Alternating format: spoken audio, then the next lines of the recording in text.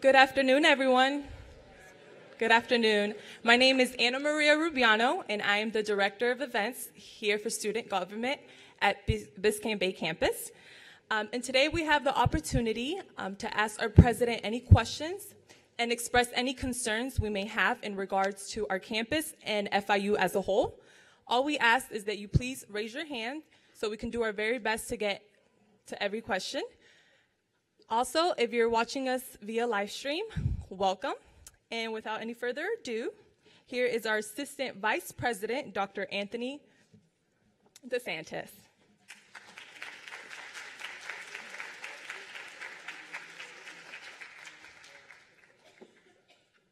Good afternoon, everybody. What a lovely crowd. I love it. My name is Anthony DeSantis. I'm the Assistant Vice President for Student Affairs, and I want to welcome you to the 12th Annual Town Hall meeting at BBC. Um, for those of you who have not had a chance to meet me, I started here in October of uh, October 9th, and I'm the Assistant Vice President for Student Affairs here at BBC, and I also serve as the Chief Student Affairs Officer here at BBC as well. Um, many of you in the audience have had an opportunity to meet, and for those who I haven't, I look forward to hopefully today or at some point in the next week or so get a chance to meet with you personally. I want to thank uh, SGA BBC for hosting this event today. Well, if you can give them a huge round of applause for putting this together.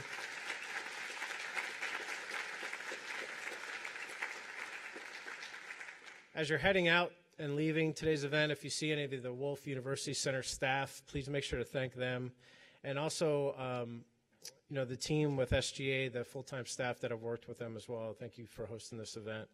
This forum will give students and staff and faculty the opportunity to learn about what's occurring here at BBC and also learn about what we're working on in the future, some of our future projects, events, and services that we're looking to bring to this campus, uh, as well as some of the colleges that are in the audience to talk a little bit about what they're doing.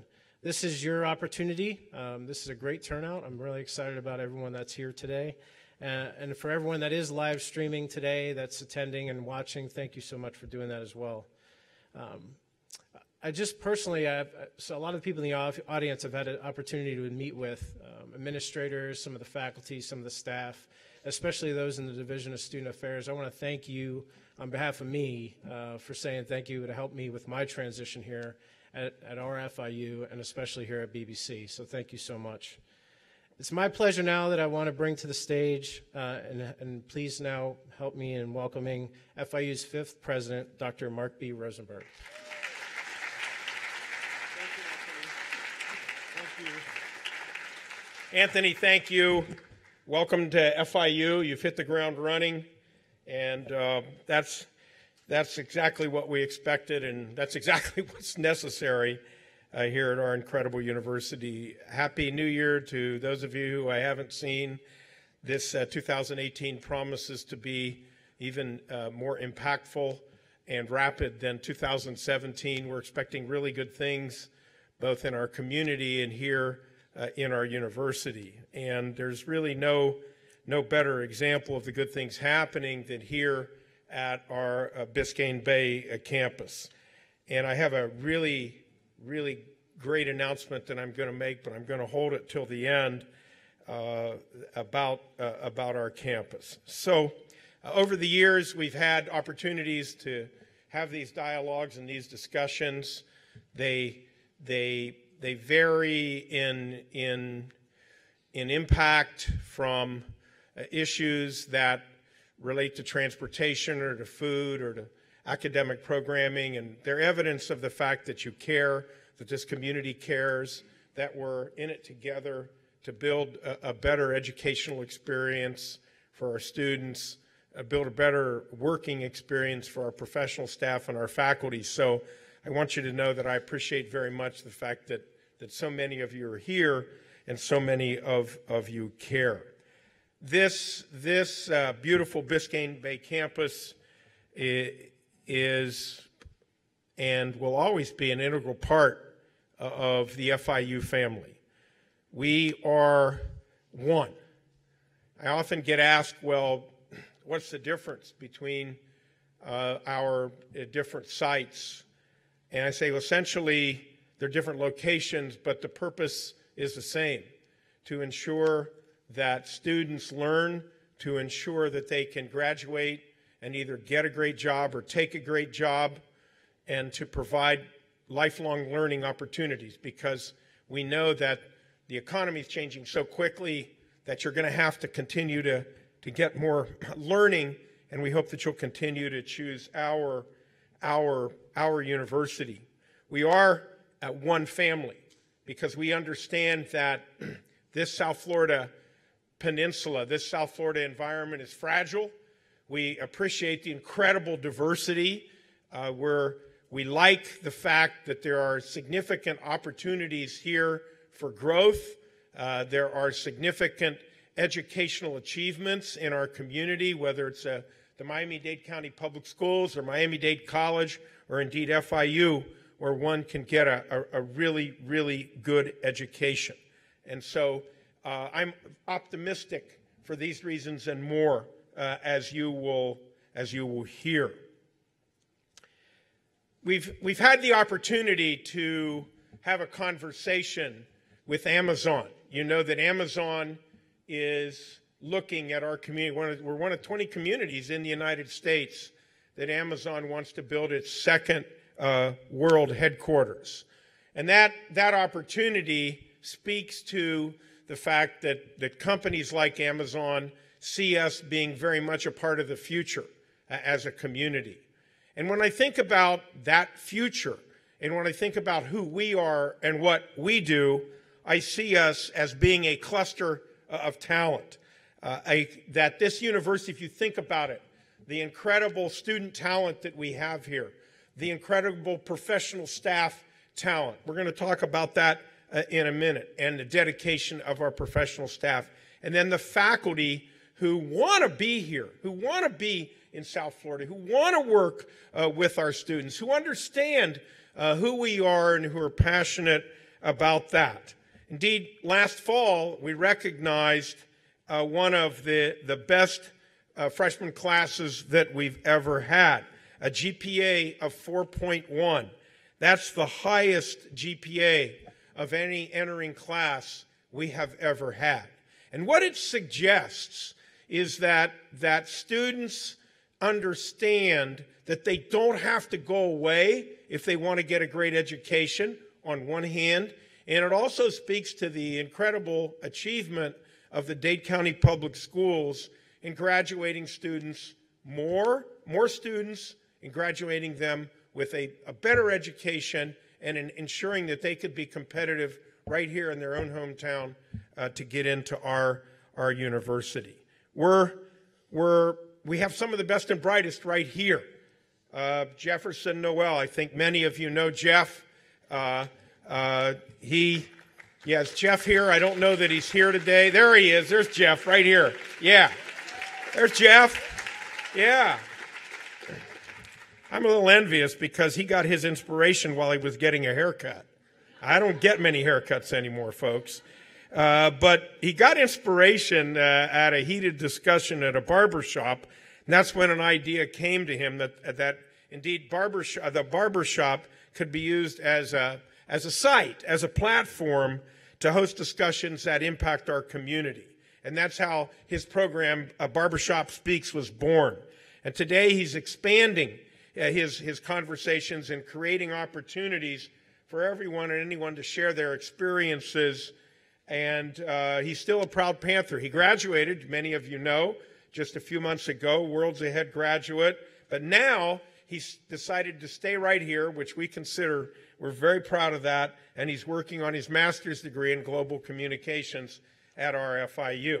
This is the kind of talent and grit and perseverance and determination and vision that is characteristic of our students. They understand that, that this education is very precious and they got to do something with it. And Jeff is a great, great representative of using education, taking responsibility, and getting things done.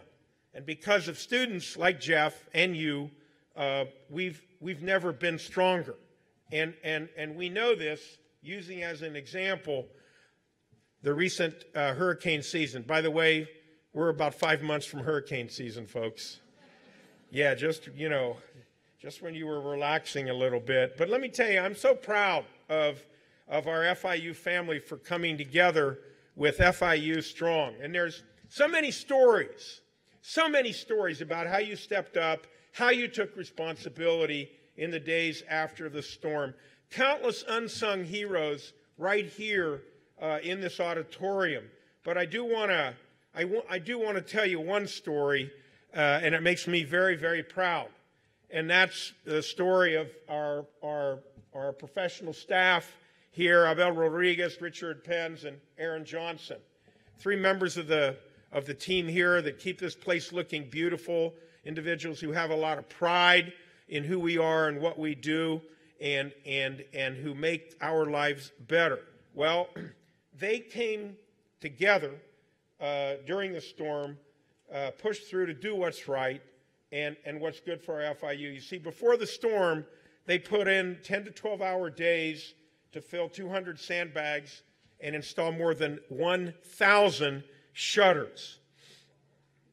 Now, I got to tell you that sometimes putting shutters up is the right thing to do, but when I was putting shutters up one day, this was uh, right before Hurricane Andrew, I called my one of the, the fellows who I who knows storms. I said, Richard, I, do you think I need to put my, sh- my storm shutters up? He says, Yeah, he says, go ahead, put your storm shutters up. Wind's going to blow the roof off anyway, but at least you have the shutters up. But we put the thousand storm shutters up. And, um, and, um, and after the hurricane, uh, the Abel, Richard, and Aaron came together and they continued to work hard to get us back on our feet. Uh, they each had their fair share of getting back to the campus. You know how hard it was uh, right after a storm to get back here. 45 minute commute turned into three hour commute. A concrete pole landed in a driveway, can't get your car out, a flooded apartment, but nothing could keep them uh, from helping the campus uh, get ready uh, for our, our, students and fellow uh, staff people to, to, to get back here so we could get on with the business of education. Are they here? Are you here this afternoon, uh, gents? I was hopeful that they would be here. They're not. When you see them, thank them, remind them of your appreciation uh, for, for uh, what they've done. This is, this is who we are. People go out beyond the normal and, and do, do something special so that this university can, can be special. And because of you, RFIU has never been more focused on being a solution center. We're helping to solve some of society's most pressing problems. Last year, we received a $13.1 million grant from the National Institute on Minority Health and Health Disparities. This is the largest grant that we've ever gotten uh, from the National Institute of Health. And with it, we're going to create the first health disparities research center on minority uh, at, a, at a minority institution. We're also going to be hiring three additional researchers, five new fellows, as well as postdoctoral talent. And I know that that um, that she's going to mention it, but in just a couple of weeks, uh, through our communication program, we're going to do a hackathon on sea level rise. We are engaged in identifying solutions that can make a difference uh, for our community. Uh, we've never been more committed as well to preparing students to, to get great jobs. We know that's important. We know that our students go into debt, our students sacrifice, our students make decisions every day to get their education, believing in us, believing that if they get that education, they can stay ahead uh, of things. And we have to do our part at the university. I'm really proud of the fact that we just initiated a new degree program. It's called the Internet of Things. The Internet of Things. And uh, there's only a handful of similar degrees at universities uh, in the world. We're the first in the United States.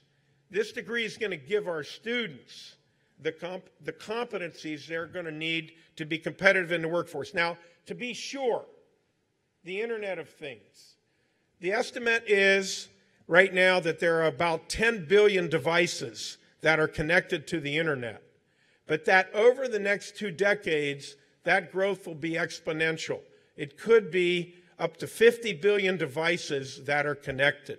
You'll be able to control your household from, from, from your handheld device. Uh, you'll be able to control if you have a car or if you don't, you'll be able to get transportation at a minute's notice.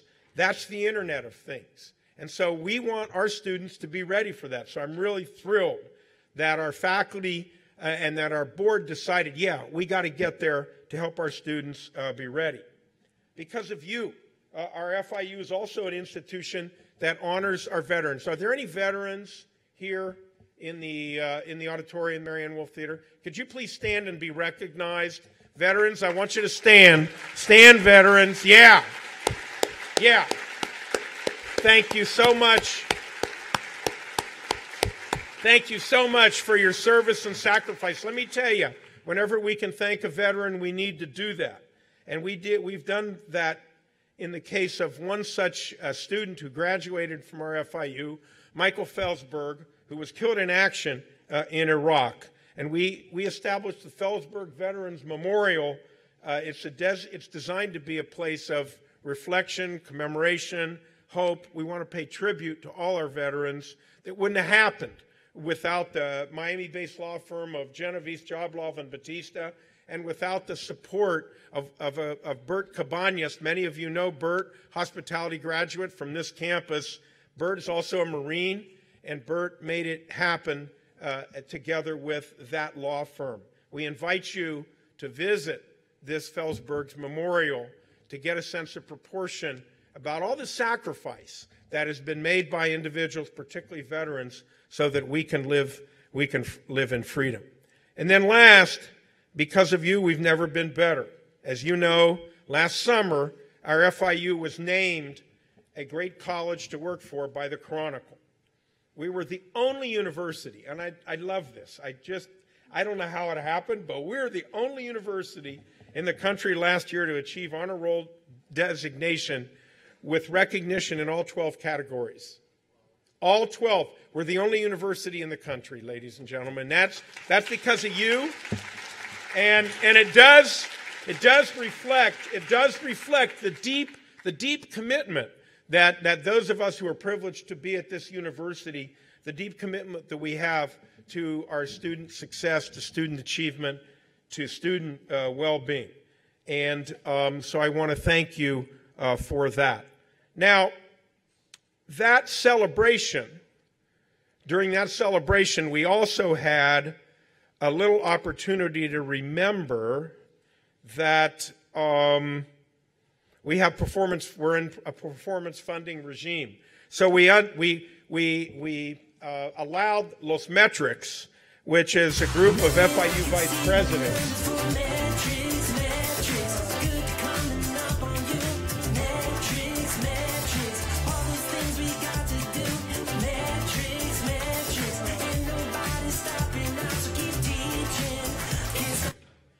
So, Justin Timberlake has called to see if we could, uh, if we could uh, lend uh, our dancers uh, to him, and uh, but he made it clear not for the Super Bowl. Uh, but at any rate, we're very focused on the metrics. We know more about our institution today than we ever have. We know how long it takes students to graduate. we we find ways to eliminate bottlenecks. We measure uh, every department and how well they're doing with retention and graduation.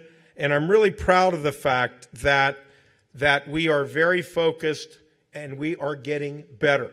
We're getting better on the six year graduation rate. We're getting better on the four year graduation rate. We're getting better on students who enroll uh, in, as, as FTICs and then come back the next year. And we're getting better because we know that many of you find a way to help to ensure, to remember, to ensure that our students come first. And if our students come first, we're going to come first as an institution. So I, I want to thank you very much for that. And indeed, we are moving those metrics uh, forward. We report every year to the Board of Governors, uh, and the Board of Governors in Tallahassee has very high expectations uh, for us. So these metrics, we won't go over them today, but I just want you to understand how important they are to what we do. Our funding is driven by our ability to be successful in these domains. So you're going to see more and more out there about the metrics and how we can be even uh, more, more impactful in achieving and exceeding the goals uh, that the BOG uh, has set to us. And the bottom line is we don't get funding unless a student graduates, and we don't get funding unless that student can graduate timely, and in this case, it's four year graduation rates that, are, in particular, are the object of affection for the Board of Governors. Now, we understand that not everybody's going to be able to graduate in four years. We get that, uh, but um, I can tell you that significant amount of funding rides on our ability to keep getting better and better. And I'd like to think that each and every one of you, whether you're a student, you're a member of the professional staff, you're a member of the faculty, that you're going to figure out what your responsibility is, take that responsibility, and help us uh, to get there. Uh, last week, last year, we did announce for this year several ways for our students to graduate on time. And I'm really proud of our, our program called Golden Promise. This, this program is, enables first time students who enroll, if they don't have the financial support to start at FIU, FIU will take responsibility for that financial support. Indeed, this for this year we had 1,130 students where we covered 100% of the students' tuition, regardless, regardless of whether they were a 3.9 or a 4 student or a 3.5 student, we covered uh, their tuition if they de- could demonstrate uh, financial need. And I am very proud of that. Many of you know that as an institution of higher education, we depend on Pell Grants, which are federal grants for students uh, to, to get their educations. In that, in that mix, about uh, in terms of Pell Grants, we have approximately 25,000 students, undergraduates who are on Pell Grants. Half of those students are on full Pell, which means they get no family support. Think of that. About 14,000 of our undergraduate students don't get any family support at all. They are fully paying for their education. And we are very proud. I know many of you are, are, are, are those students. We're very proud of the fact that you're able to find a way to get your education, to work, to support your families, and that you're going to graduate on time.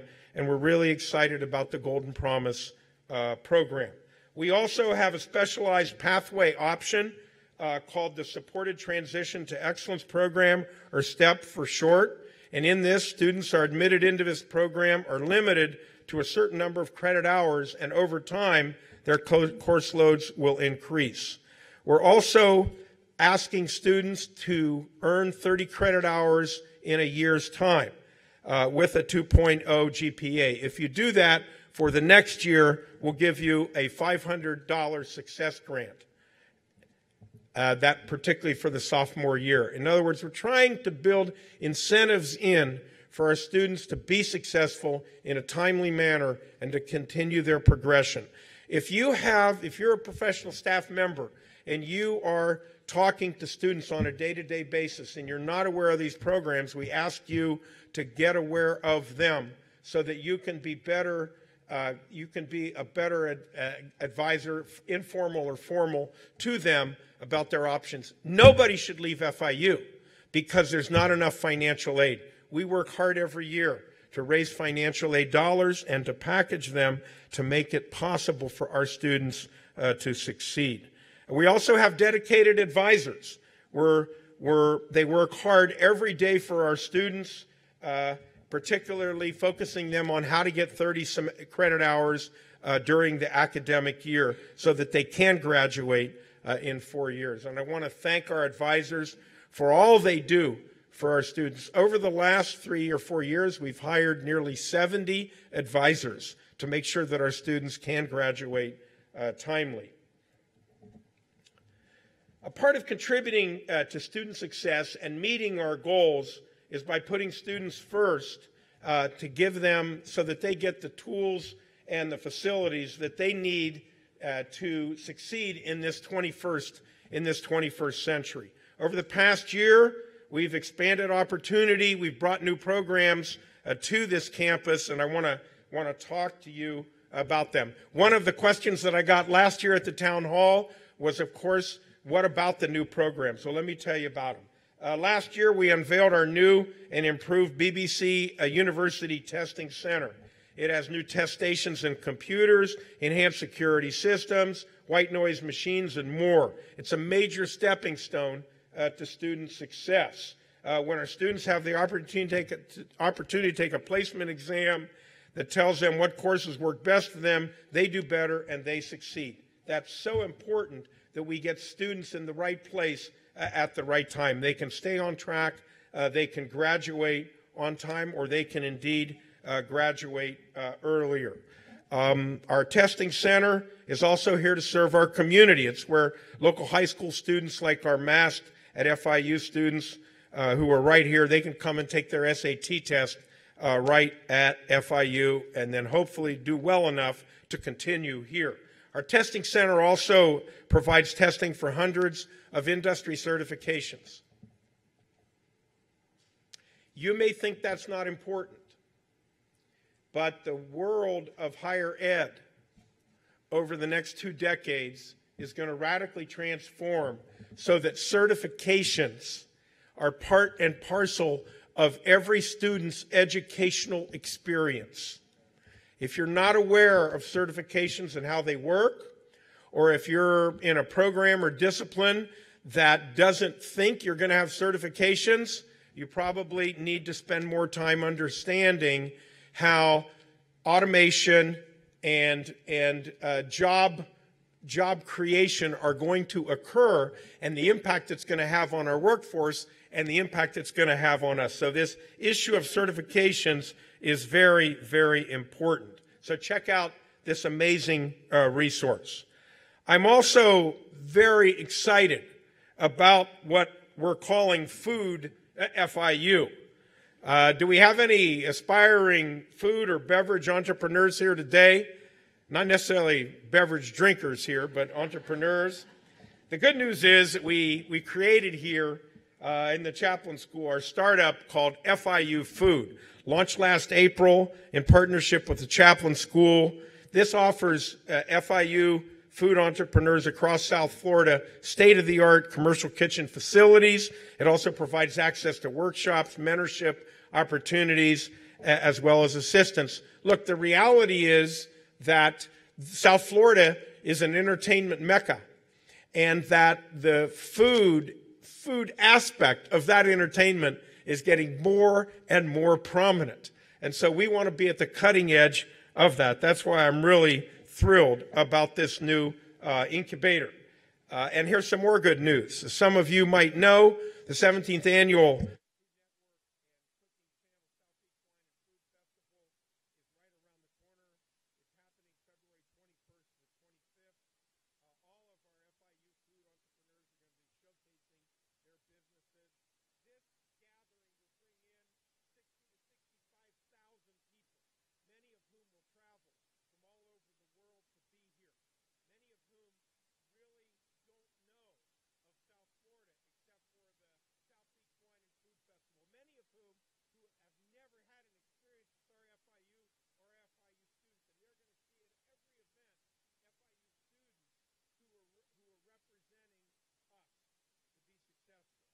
I want to I want to make sure that for those of you did I need that?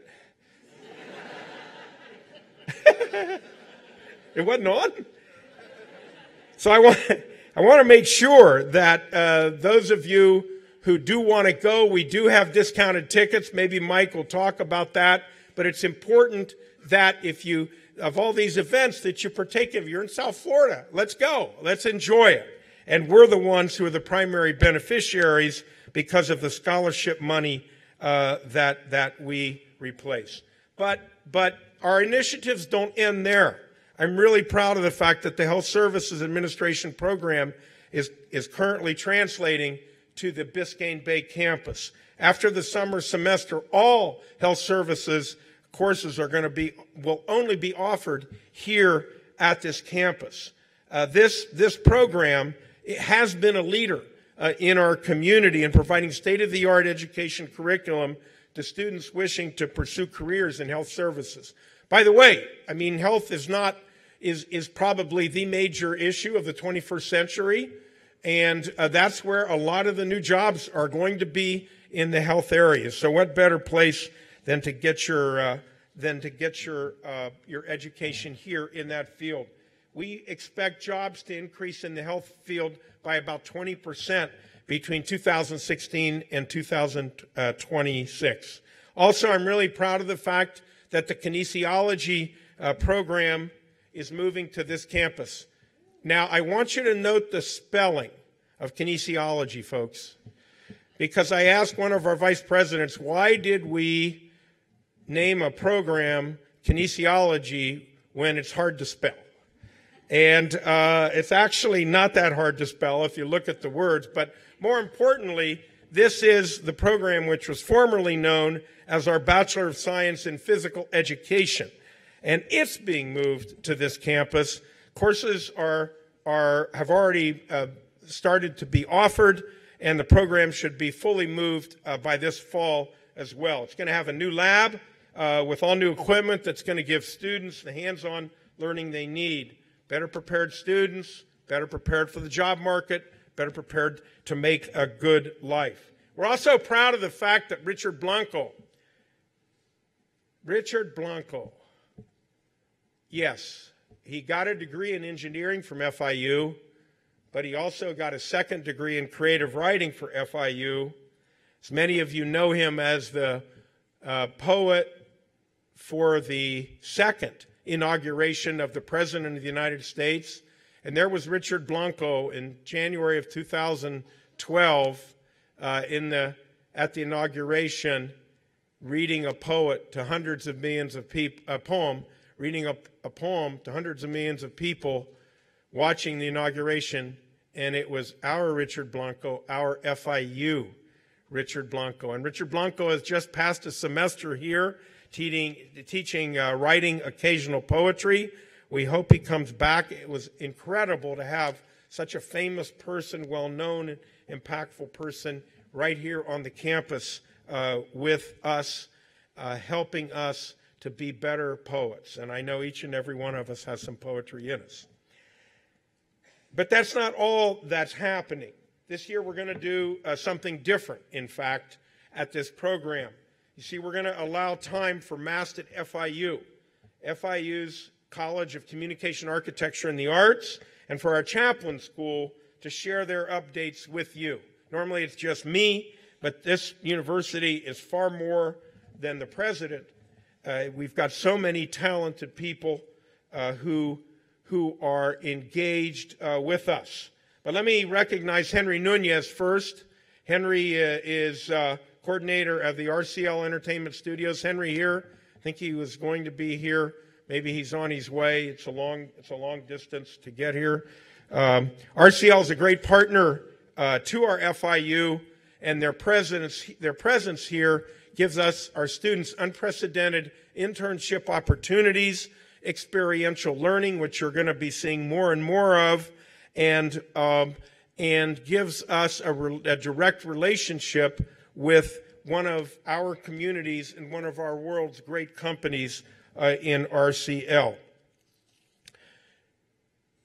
So, MAST is another example of a win win win partnership.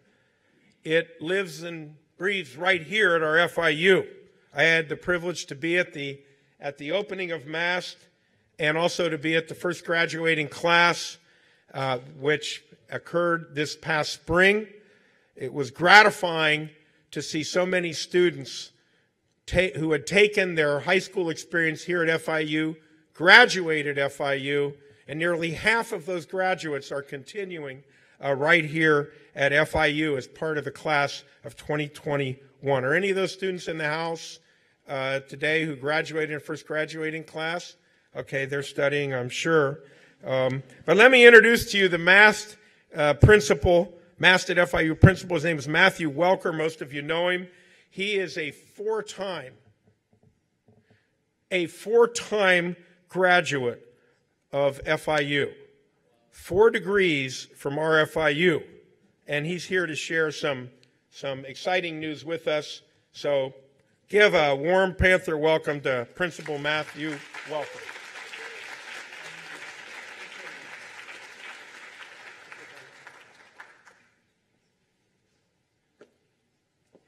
Well, thank you, President Rosenberg, for that uh, great introduction.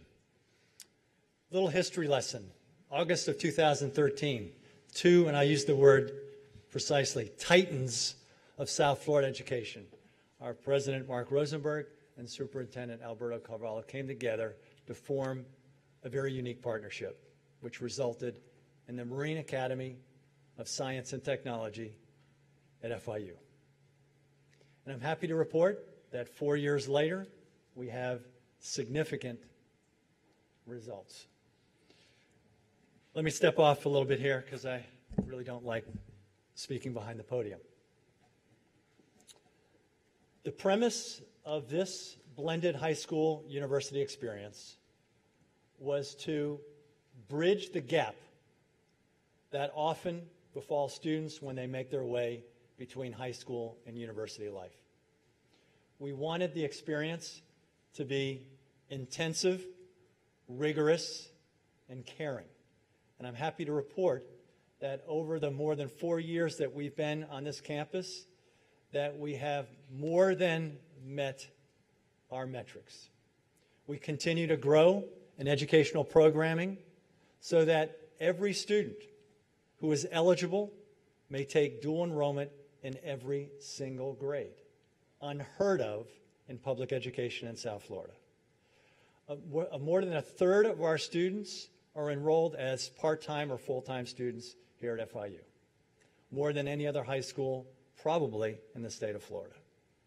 As President Rosenberg pointed out, many of our students elect to stay here, which really warms my heart because I have a very, very warm spot in my heart for this university, as you can certainly tell and hear. I'm happy to report, President Rosenberg, that 100% of our graduates met the four-year requirement.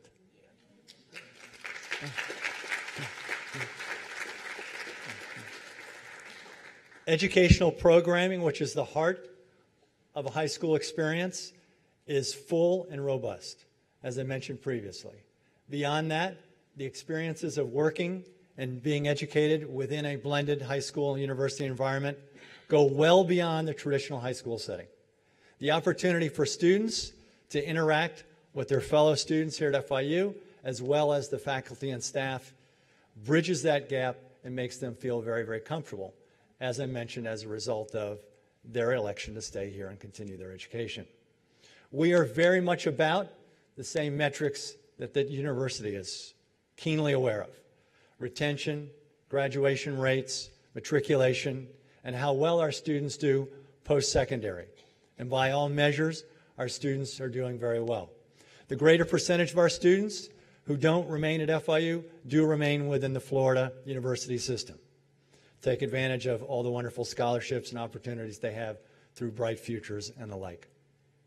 Most recently, we had the first South Florida Eco Hero Award winner, one of our students, who won a trip to Antarctica with Ron Magill and Kristi Krueger on Channel 10. Perhaps you heard of that. And as of uh, this weekend, we have two students who are going to be participating at the state science fair level, and we had winners in both robotics and uh, generation, Florida Power and Light generators. So the horizon looks great for our students. We continue to excel. The one thing that I'm asked the most is not about how wonderful our students are. It's typically, when are we getting a building? And believe me, I want that to happen just as well. The superintendent has indicated that we hope to have one in place by certainly August of 2019 or maybe winter of 2020. So the horizon looks good for us. We're going to continue to move forward. Each year, we gain more perspective about how important our place is and the appreciation that we have for this university. I thank you all.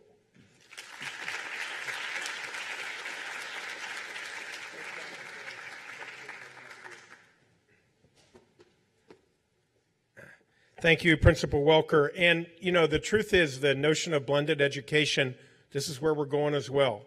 We're not just going to certifications and badges. We're going to, we're finding ways to ensure that education is seamless across, across the so-called delivery systems. And there's no better example of that on one hand than dual enrollment, which we are, we spend a lot of time on at this university but then having the facility and the presence of those students right here on this campus is, uh, is really a harbinger of things to come in terms of models of, of education. And so thank you very much in believing in us and for your leadership with MAST, uh, Matthew Welker. I'm really happy as well that, that Marilys Nepomechie, Associate Dean for Strategic Initiatives, Professor of Architecture in the College of Communication Architecture and the Arts, is here today. She's going to share some updates with us. Dr. Nepomechie.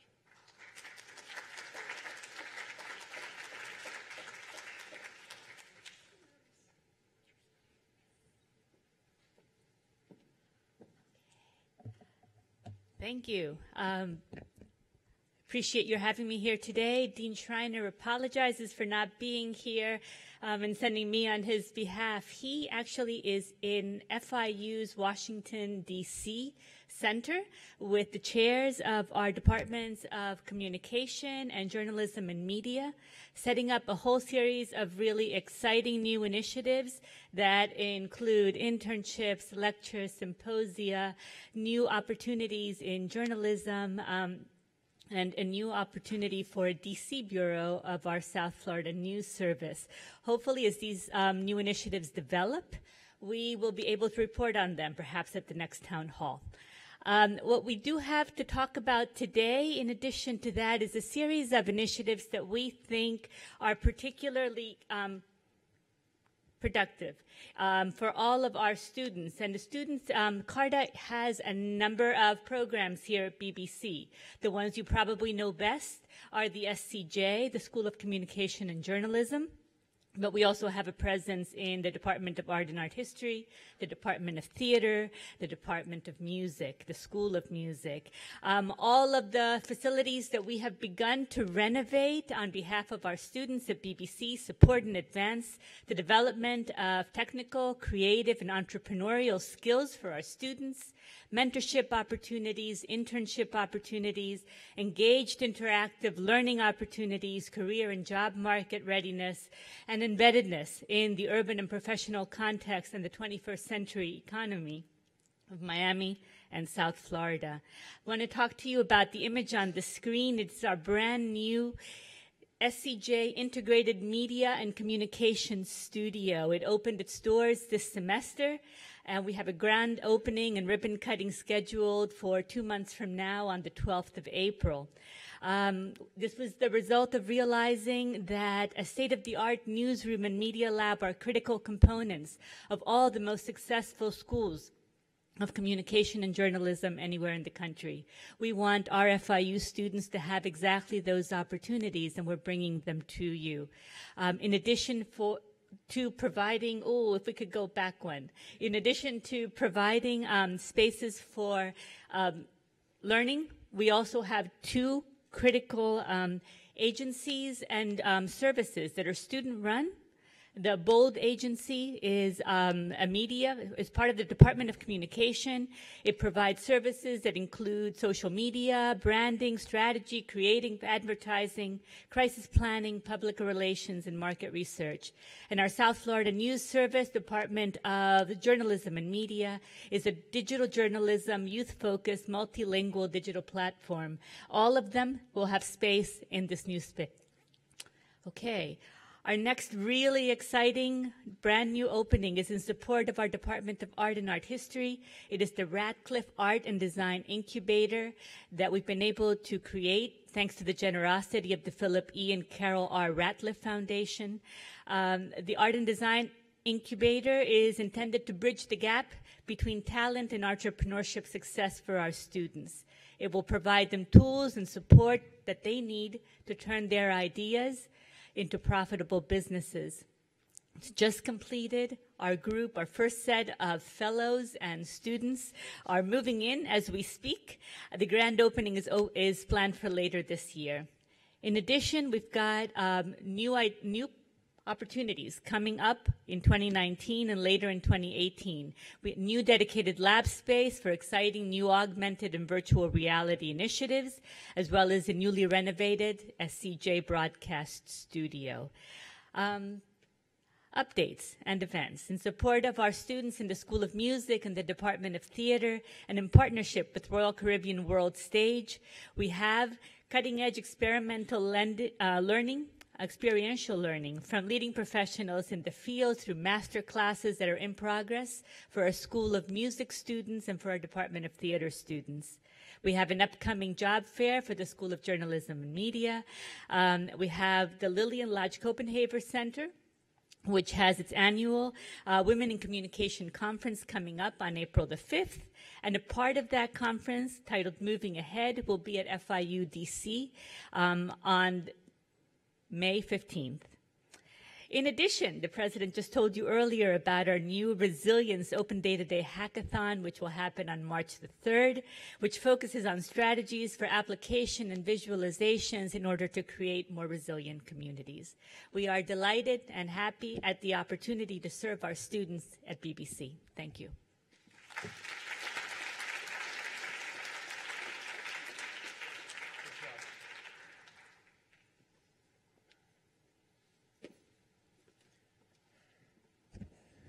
I can tell you that uh, having been a dean here on this campus in the mid 90s, that uh, we, we never dreamed about, couldn't even dream about some of the activities and initiatives that have just been described for you. We didn't dream about those then. We dreamed about a lot, but it's really amazing the kinds of initiatives that are taking place on this campus, the kinds of opportunities we've been able to generate as a consequence of the creativity uh, of our faculty, the hard work of our professional staff, and the interest of our students. And perhaps uh, nowhere is that better seen than, than in our Chaplin School of Hospitality and Tourism Management. Let me ask uh, Michael Chang to give us an update about the Chaplin School.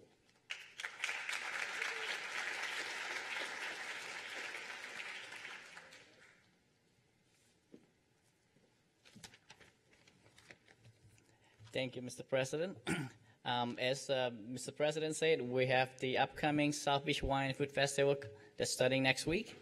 And uh, it's going to kick off next Wednesday with our first dinner at, in Fort Lauderdale. Um, this is a festival that attracts a lot of Food Network and Cooking Channel stars like Alton Brown, Guy Fieri, Emeril Lagasse. And this year we will be honoring uh, the super talented Bobby Flay at the tribute dinner on Saturday. Did you know he was the only chef and the first chef to have his own star at the Hollywood Walk of Fame? And he has restaurants all over the world, and from New York to Las Vegas to Bahamas. Um, along that too, we're also still looking for a few student volunteers if you're interested, and uh, you do get a scholarship for participating and you'll have the opportunity to work and, and gain experience at a large scale event like this that serves over 64,000 guests over a four day weekend. Um, so if you're interested, please go to HM 243 on the second floor of the hospitality building to sign up. We're also going to be reinstating the luncheons and dinners from the Advanced Food Production Management course starting this fall. I know it's exciting. so, so expect to see one luncheon and one dinner a week starting this fall. Um, it, along with the festival, we've put together a class, a two-semester festival management class, and you'll you'll be able to. That's going to solely focus on the festival. So you'll learn how to work with the event managers, uh, the planners, sponsorships, marketing to execute an event of this uh, size. But this it's not just for this festival. You'll will also support the Brewfest that we do in North Miami. Starting this semester, we are also going to be bringing back the Micah Hurst Dean's Lecture Series, and kicking off the lecture series is Reginald Washington, a graduate of 1974. For those of you who don't know Micah Hurst, he was a professor here and former chairman of the National Restaurant Association, as well as former owner of the 15th Street Fisheries in Fort Lauderdale. And our first speaker here, Reginald Washington, is also a distinguished alum from 1974, also former chairman of the National Restaurant Association, and currently CEO and president of Jose Branded Foods in Atlanta. And then lastly, in other news from Chaplin School, we're going to be offering more dynamic scheduling of courses, as well as creating more opportunities for study abroad courses in mini terms. And all of these efforts are aimed at pro- providing more flexibility in your schedule and getting you to graduate in four years. Thank you.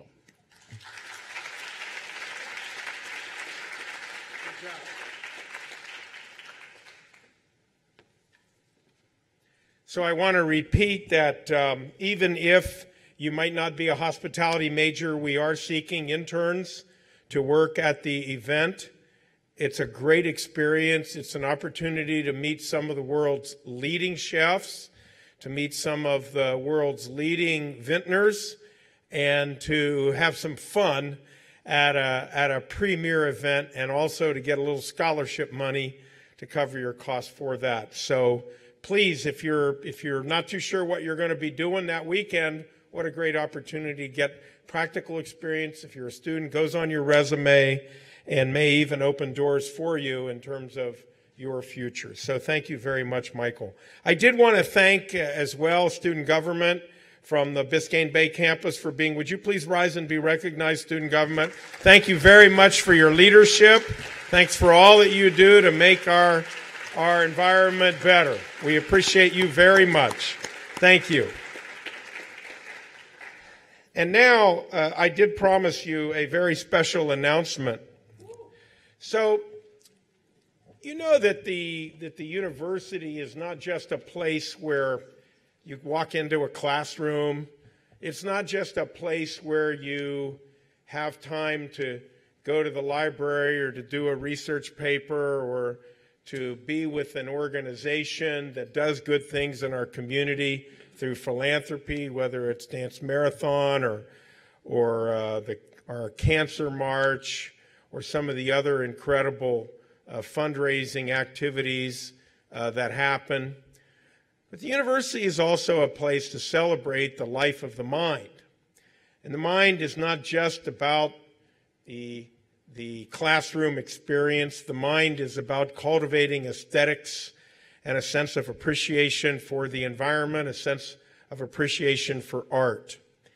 And so you know that if you're if you're if you walk around this campus, you'll see some some nice pieces of art. If you walk around the the the uh, MMC campus, you'll see uh, nice pieces of art. As a matter of fact, there's a, a lovely welcoming piece uh, to the MMC campus at the uh, on the off of the 107th Street entrance. How many of you have seen that big flaming red Liberman sculpture?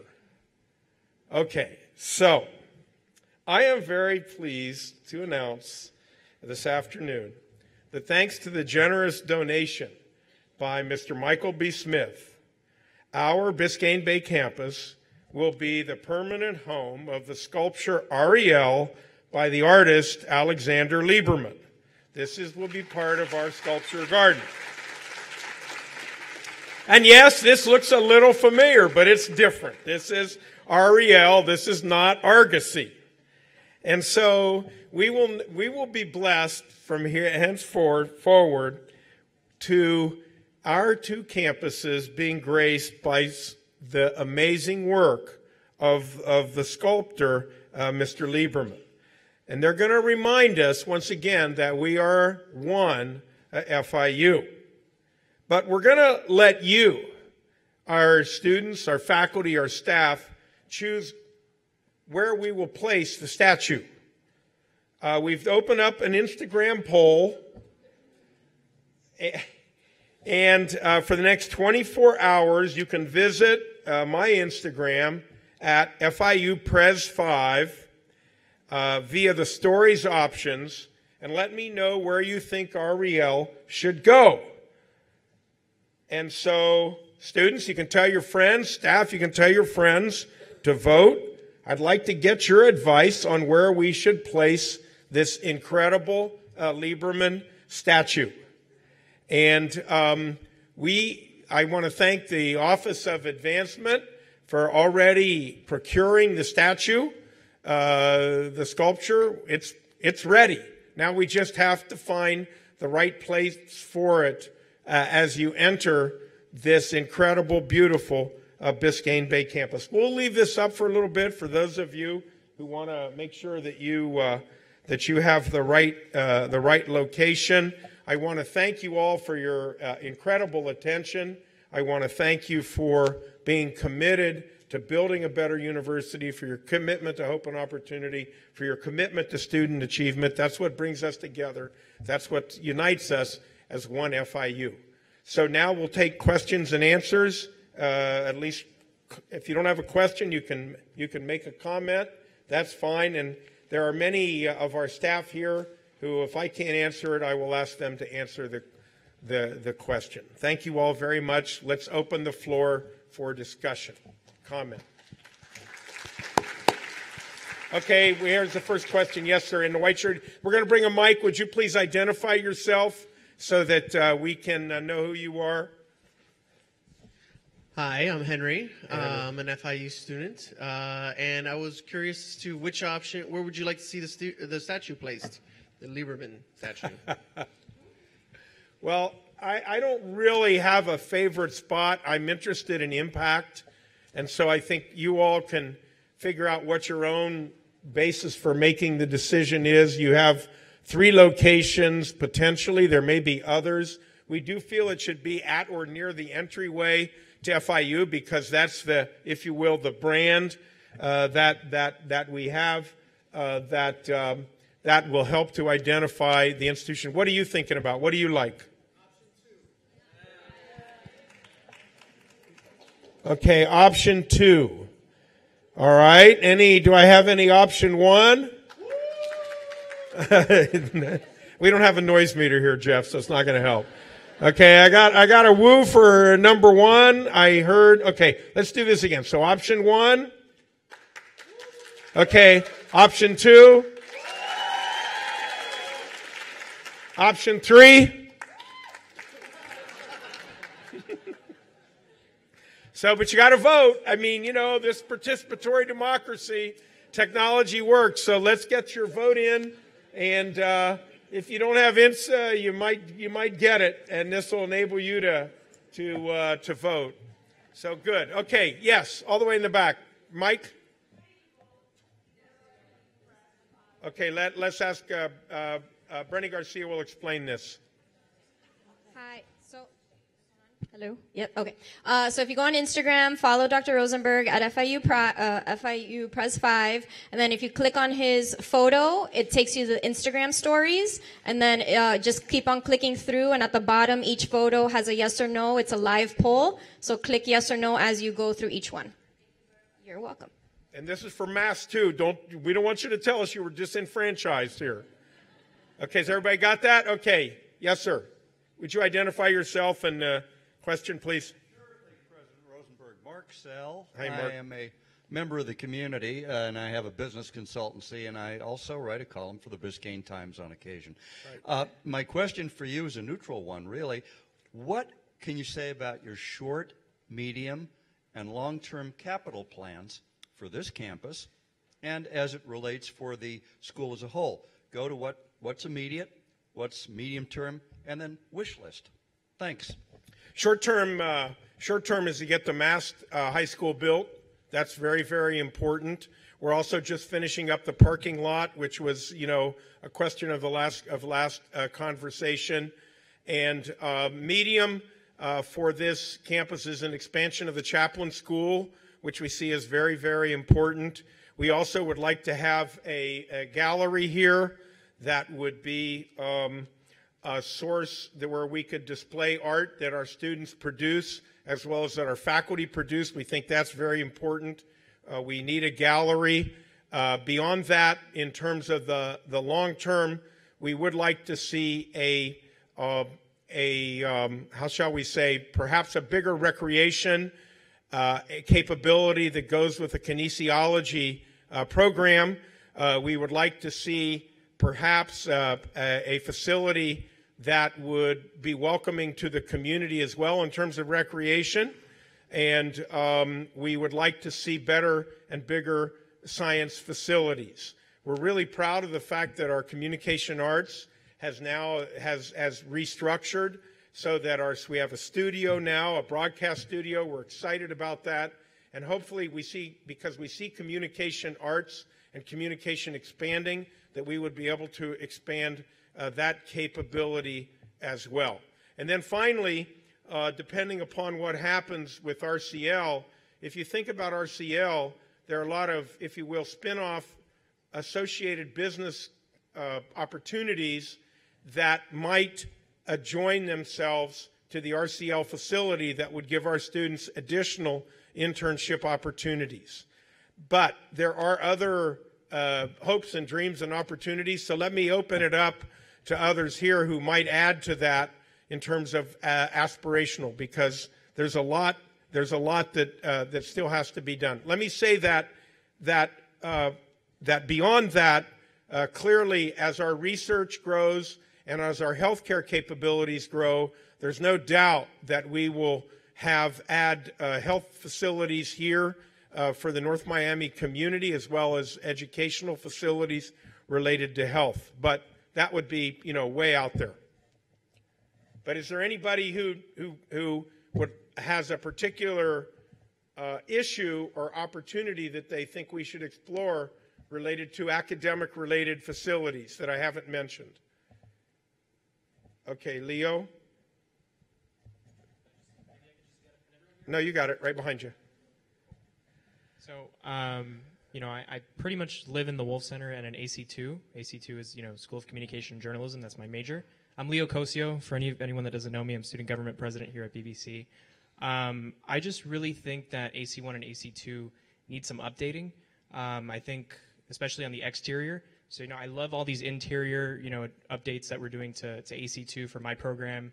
Um, you know, to hospitality, of course but I really think the exterior of the building needs a lot of updating. You drive into campus, AC2 is the first thing you see. In my opinion, it's just not a pleasant sight.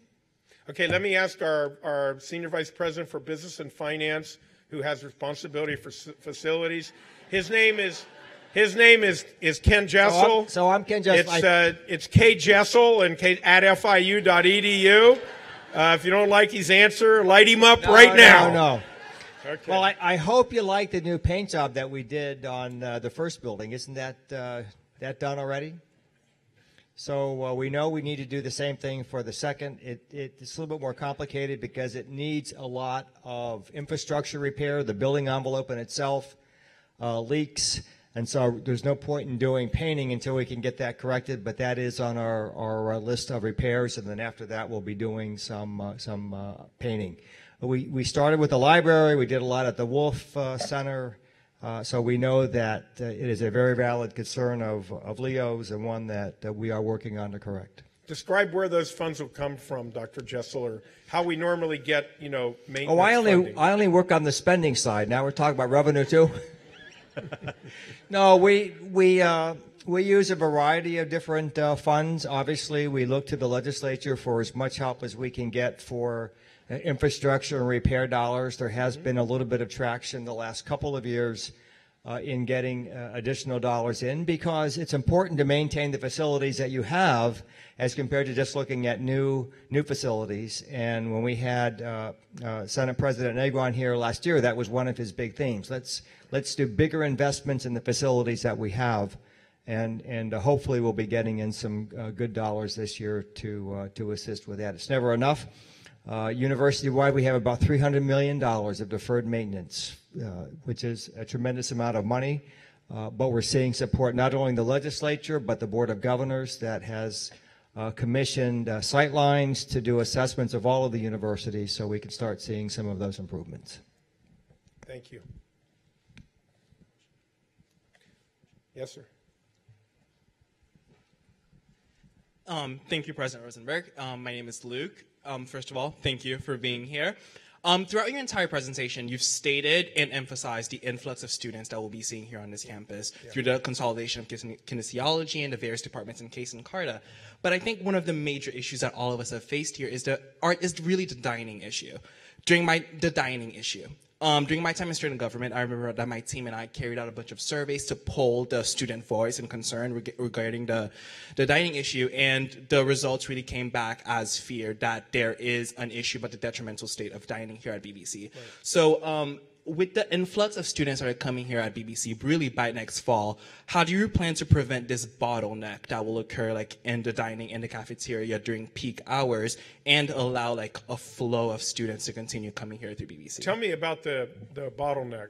Um, so during peak times here at BBC, um, between like the hours of 12 and 3, um, especially on Tuesdays and Thursdays, individuals are not usually able to um, take their short breaks and go to the cafeteria and grab something to eat from the limited options and go back to their to their affairs because that, during that time you have students and staffers and MAST students who come by and try to grab something from our three options. So oftentimes it creates this this issue where the line is backed up all the way to the hallway and individuals either have to defer to off-campus option or the detrimental options in the vending machines.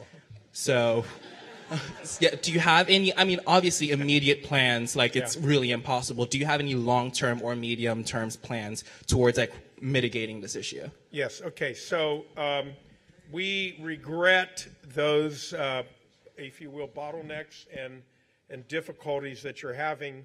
We want our students to be on campus 24 7, 365, because we see the campus as a sanctuary, we see the campus as a learning center, we see the campus as someplace so extraordinary that um, that that we want our students here all the time. So that's I want you to know that's my goal. And um, while we've come a long way uh, up here, we still have uh, we still have to go a long distance. And um, part of the logic of a high quality, impactful food service is that there's a market that makes it possible.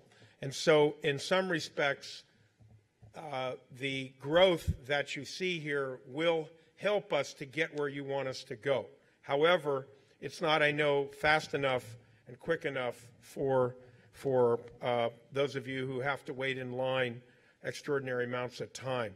Let me uh, let me go back to uh, Dr. Jessell for a minute to talk about the process that is going that is going to occur. Actually, that's occurring now in terms of um, of food service as it relates to the university and the Biscayne Bay campus. And do you not want to deal with it, Dr. Jessell? I could ask Amy too. No, no, of course. I'm happy to to uh, uh, to do it. He's just a he's No. just a gracious public servant doing The- his thing. The the uh, the president is correct. Obviously, it's a balance because any food program that you have has to be a sustainable program, right? So we understand that, and we have been working hard. Uh, we have the rotation options that have been very successful, and we've over the, the last several years have made uh, enhancements to the program that we have. Uh, we are going through a competitive solicitation. Our contract uh, with our current vendor, Aramark, is is up. We're required to go through a, a, a process, and we have had numerous focus groups with students, faculty, and staff on uh, on uh, this campus as well as the MMC campus, and we will continue that process. We have good representation. Leo, are you are you on that committee? Leo's on that committee, so he can he can be your spokesperson as as the student representative, and we have faculty on that committee as well to try to look at the optimal way of delivering, you know, food service uh, on our campuses more comprehensively. So that is a very, very important process, and please pay attention to it so your voice uh, can be heard in terms of preferences. Uh, with MAST, the, the, the school coming up, as we heard, we're still looking at uh, 2019. Uh, that is the plan for the for the opening. Uh, we'll have additional students here. Uh, with housing, we're seeing more opportunities for for utilization of of, uh, of the facilities here. And as we expand the academic programs, as you heard from several deans, that will also increase the volume so we can have many, many more options. Uh, it's going to be impossible to say there'll never be a, a line at lunchtime. If you go to MMC uh, at lunchtime, it's going to be very, very crowded. Uh, we have to stand in line there as well. If you go off campus during lunchtime, it's also going to be a, a peak time because people, unfortunately, take their lunch between the hours of like 11:15 and and 1:15, and those are the the peak uh, peak times. We will, however, look at what we might be able to do uh, differently, maybe bringing in another uh, part-time person to assist at the register or at the takeout uh, or the order line to improve that. Uh, so I'll ask the team to make sure that we analyze, you know, where we are now. But we, we, we do want to provide a valuable uh, product. We want to provide a value proposition to our students, our faculty and staff, you know, everywhere because that's the way the program is going to be uh, the most successful. It has to be a self-sustaining program. Obviously, there are no tuition dollars or state dollars that go to operate it. The revenues that come in have to cover all of the expenses. But we believe with the right mix of products and the right uh, service deliveries, maybe the right kitchens in place as we go through this next round of negotiations, will help uh, improve uh, the issue that you've identified. And you're right, it is one that we've uh, have been identifying for a long period of time, and it is on our radar screen. So, Luke, if you had a, if you had just one, uh, you know, service that you'd like to see here, or one restaurant or one food group, tell us what that would be. You, I need the mic here. I want everybody to, you know, I want everybody to hear this.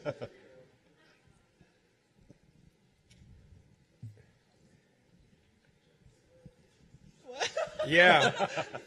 Oh, he's telling you what he's telling. Uh huh. I mean, it's difficult, but I don't know. You know what? If I want a good Chick fil A, I have to go to the Pembroke Pines. So this would be something that would be beneficial to like this community right here. So I think Chick Fil A would be a solid option. I don't this want you to go to Pembroke Pines. Exactly, I don't want to either, which is why I want it here. Hello. Okay, what's number two? All right, Chick Fil A. What's number two? Wait a minute, there, there has to be a closer location than Pembroke Pines. What is it? I hear Popeyes. I hear Popeyes. Do I have anything else? Do you have room for a third option? Of course. Bring it on. Salad creations for vegetarians. Okay. Okay, yeah, okay, good. All right. I'm sorry? I think. Acai for these ladies right here. All right, ladies and gentlemen, Luke's going to serve as your representative here. Bring your bitch to him, and he will bring all to Leo. Leo, we're doing your work for you, but uh, yeah. But this is very important. We we got to get it right on this round. So thank you, really. Lean in on this. Thank you very much for that. Yes. Mr. Like the research that um actually um the research that I really want from here is Panda Express. Okay. Yeah. All right, there's another request. Good. Thank you. Thank you. Yes, sir. Please go ahead. Pink shirt. Oh, no. Go. Yeah, are you done?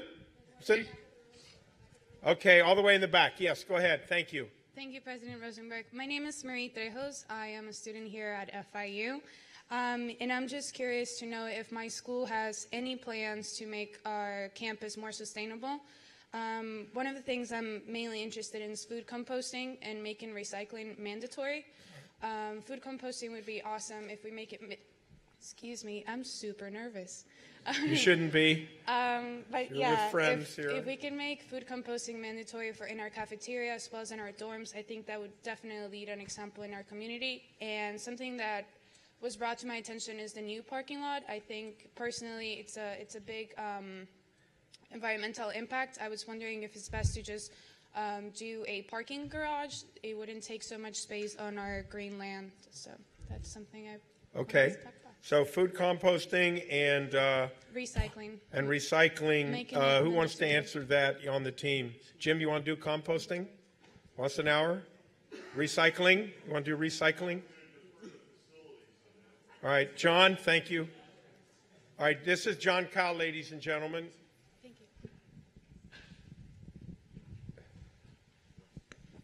John Callan, Facilities, and let me point out who your local hero is. And before I say his name, when you saw the three pic, the picture of the three individuals from Facilities up front there, they're not here today because they're probably working and, and doing more hero work. Uh, but in another place or another organization, the next guy up might jump up and say, Hey, they work for me and I'm the guy and I'm their boss. And he doesn't do that kind of thing because that was their moment.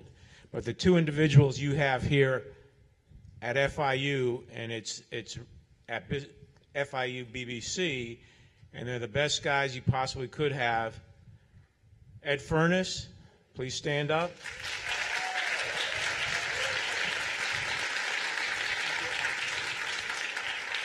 And Matt Melky, you stand up, Matt.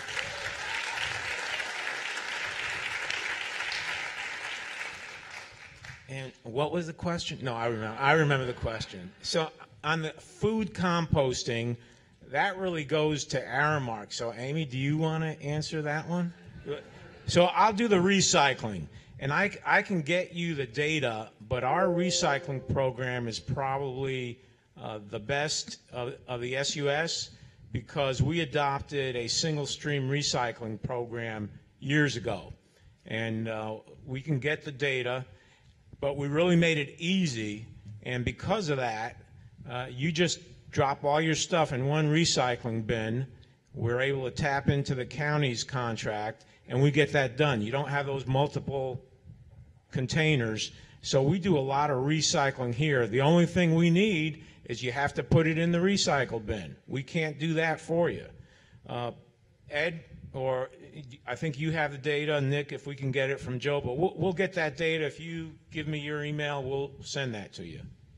Every year, though, when we do the Recycle Mania campaign, we're far ahead of all our uh, competitors, and, and uh, UCF and UF really hate that.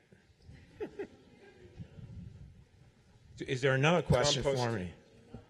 Composting. We, Amy's going to do composting. Okay, Amy. All right, Amy. Yes, good afternoon, everyone. On the composting, we actually do do it at MMC.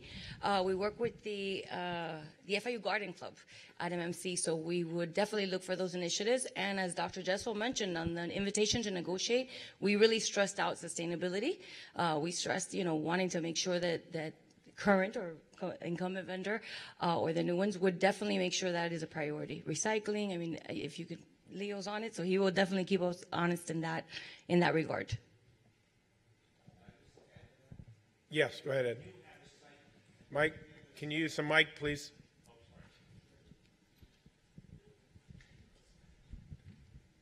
We have a site here. It's called the Urban Vegetable Garden, which would be a perfect compost. So if you send me your email, I will make sure to hook you up with that.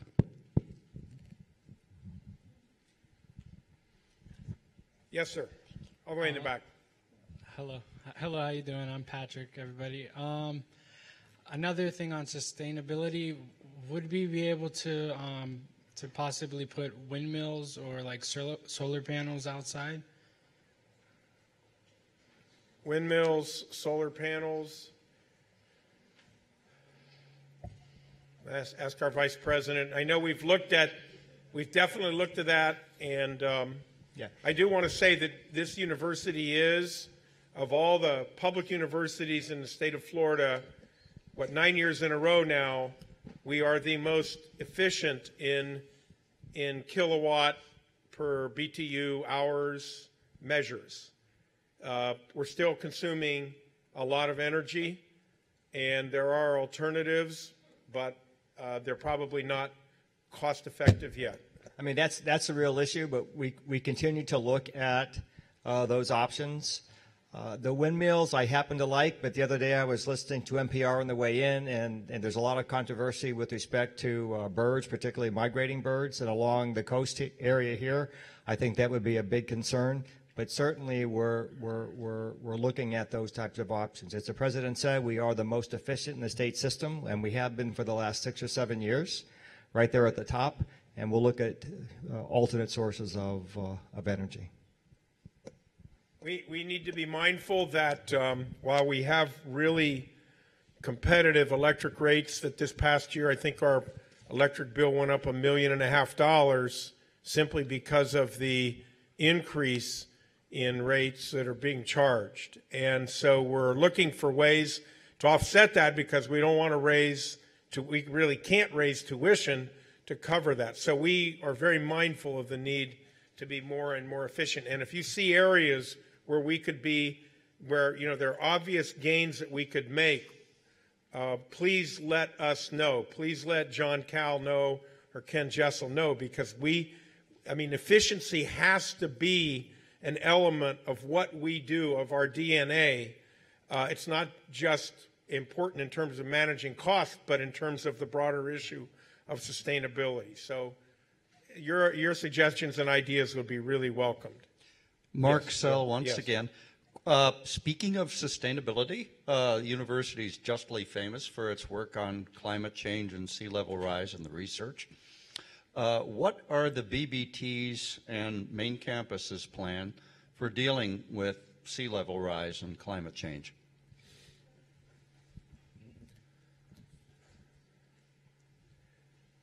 Some of the, um, let me, let me see if I can get at that. Some of the issues that we would like to be able to deal with are just cost prohibitive at this point because, as you know, the physical plant it's fairly dated, and um, the infrastructure is what it is uh, on one hand. Uh, and so the way we've dealt with storm and issues, we tried to become as resilient as we could, hardening up as many buildings and reducing the vulnerabilities as possible.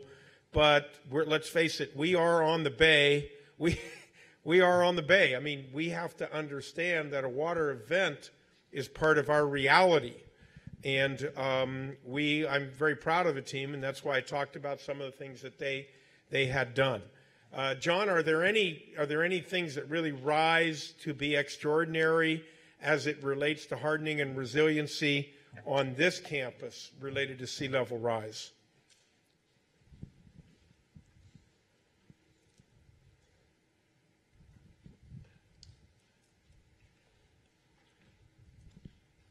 The challenge that we have specific to BBC is uh, we don't exist in a vacuum.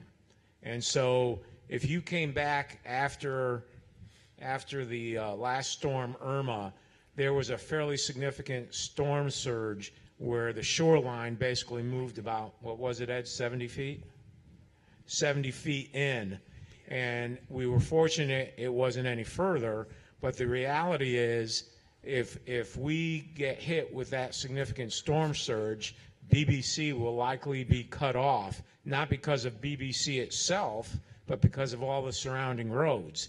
So that's why this is an evacuation area, uh, and that's why um, uh, they're, they're, it's a tough situation. It's not like the MMC location where you can shelter in place. We really can't do that on this campus. Now, what we have done is on all our construction, we have tried to build that to the to the newer standards to where those facilities can withstand a storm, and then after we can come back, it can be used uh, in a quicker time frame, and in that sense, resilient. Uh, but the older buildings that you have here, Leo, I think you commented on it, AC1, AC2, they are what they are.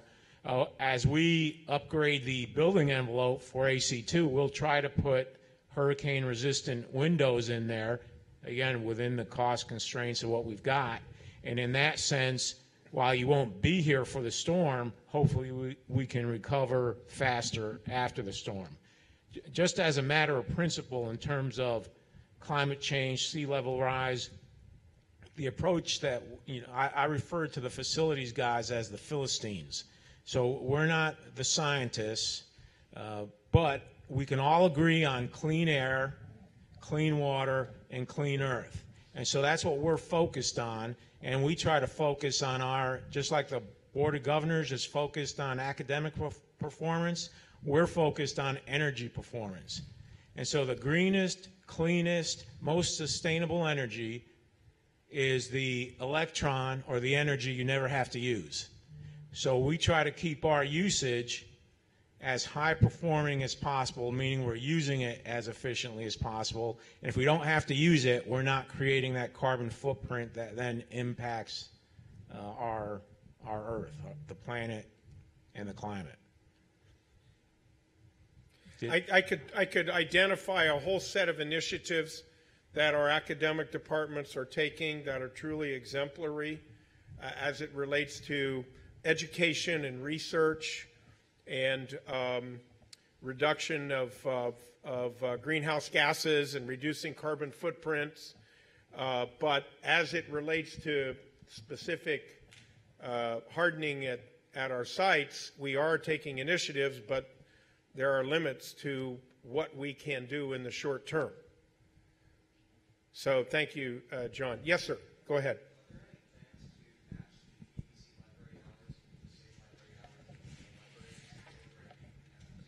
Okay, so why don't you repeat your question? Thank you, sir.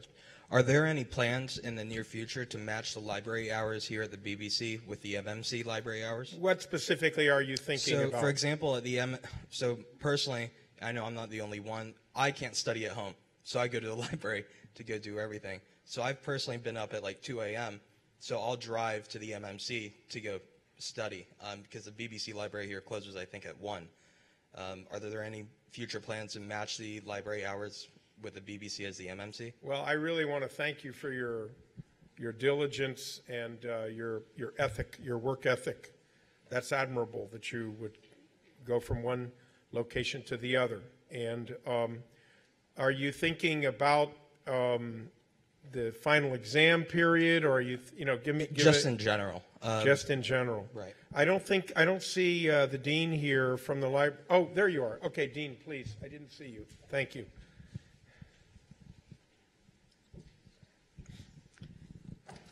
I second the president. This is a, a question, or if it's a problem, that we love to hear about because we love to hear that students value the library.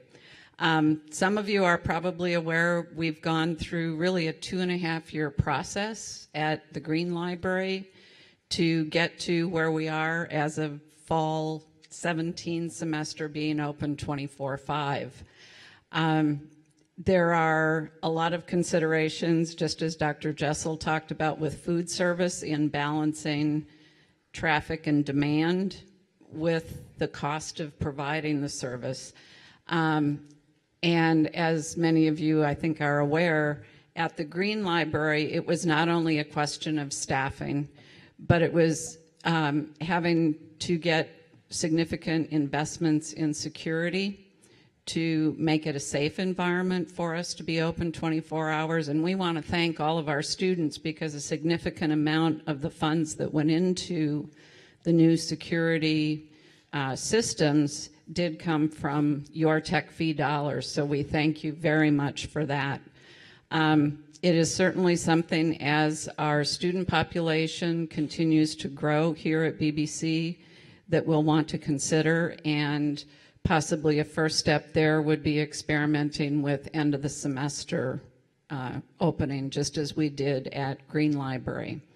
So we will continue to take that under consideration and we again appreciate the strong support we get from our students because it's important for us to know that our students value the libraries. Thank you. Yes, Luke. Okay, so we've got time for, uh, okay, here's one here, and then we'll go back to Luke, okay? And then I, I want to ask Chief Casas uh, to um, share with us some observations, if we could, please. Hi. Hello, everyone. My name is Priscilla. Um, my question is about housing. Due to the housing pricing, it is difficult to live on campus. How can that be changed, and why or why not?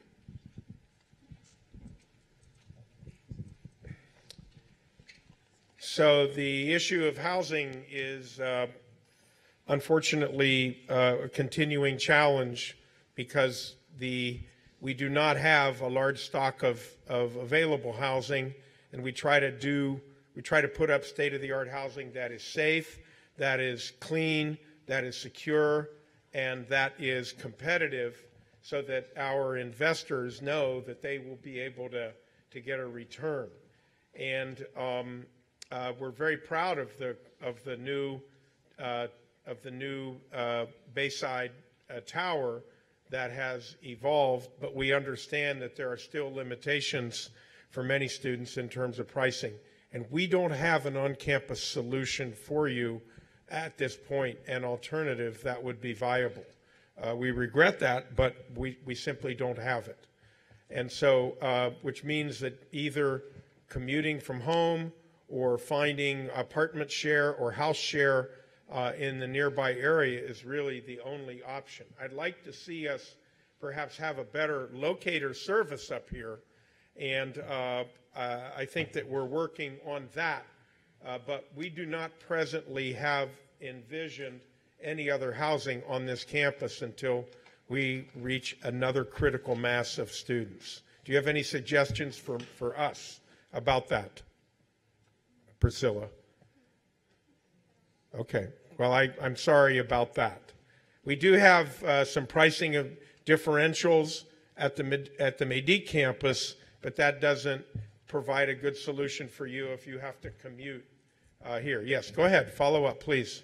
Um, I mean, I guess you could make a program where FIU students could be connected with other FIU students who have to commute far, and they could find apartments together close to this campus. Because I do live in Broward County, and I drive an hour every day to be here. So do we, we don't have a housing share or bulletin board or some form of, We do. Joe, okay, Joe, you want to talk about that, please? Joe Pollock, who heads up our housing. We need a mic here, please. Oh, thanks. There it is. Yeah, uh, we have the unclassified website where people can post if they're doing housing or sharing or do roommates. And I'm not sure if, uh, but we can do some more publicity down on or up on this campus. But that unclassified, that classified website is what we use and we push out, and it is something that's really helped students find other students who are looking to live uh, with each other. And um, I think Dr. Rosenberg had mentioned too on the MMC campus, we're really working hard at making affordable options. And we're working with the team on this campus to maybe um, have some more affordable options in the building based on uh, view and room type. So if you're willing to look at not the bay, the prices will be a little lower. And that's something that we have been able to work with them to find something for some students to have an entry price that becomes more affordable. So we're thinking about it all the time, okay? Thank you. What, where would they find that uh, classified? web- Sure, it's classified.fiu.edu, or you can just Google FIU classified. Great. Yes, sir. One final question. Use the mic, please.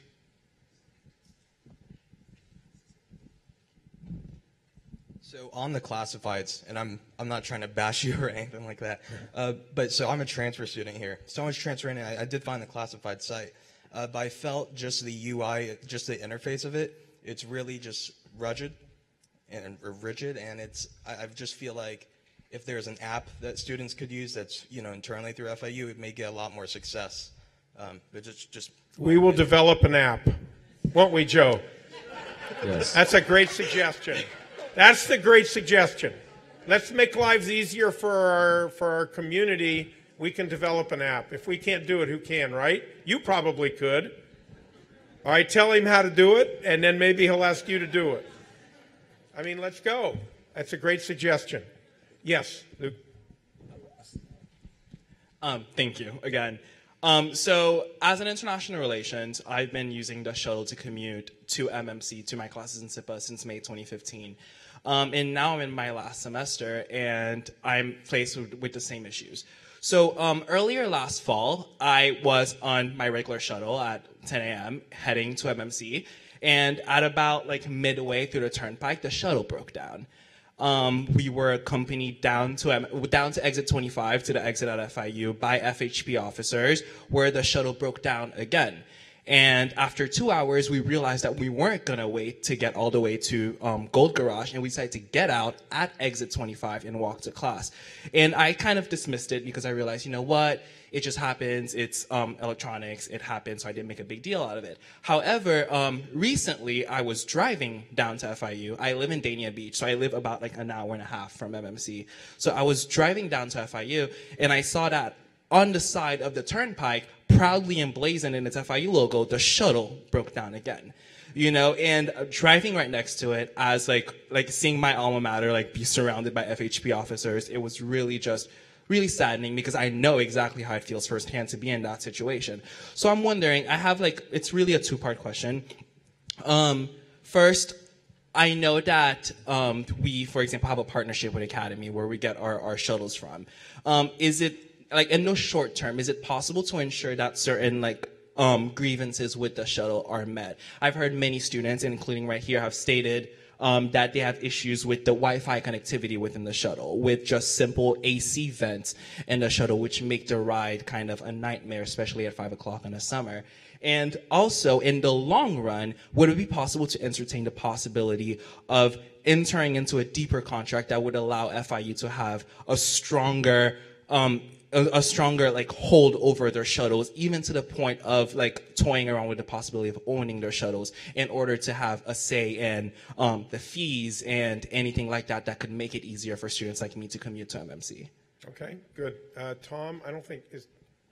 There you are. Okay, please.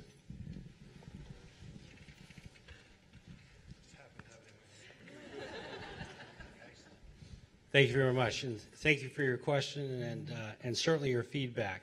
Uh, we are and have a, a great partner, uh, by the way, with Academy. Uh, we feel we do. A couple of things we've looked at. When you look at internalizing or uh, outsourcing your shuttle service, uh, one of the things is that you want to look at the size of the fleet that's available. Academy of Boston, they're actually here today, so I'll let them speak about their service levels and, and, and the breakdown that you'd mentioned.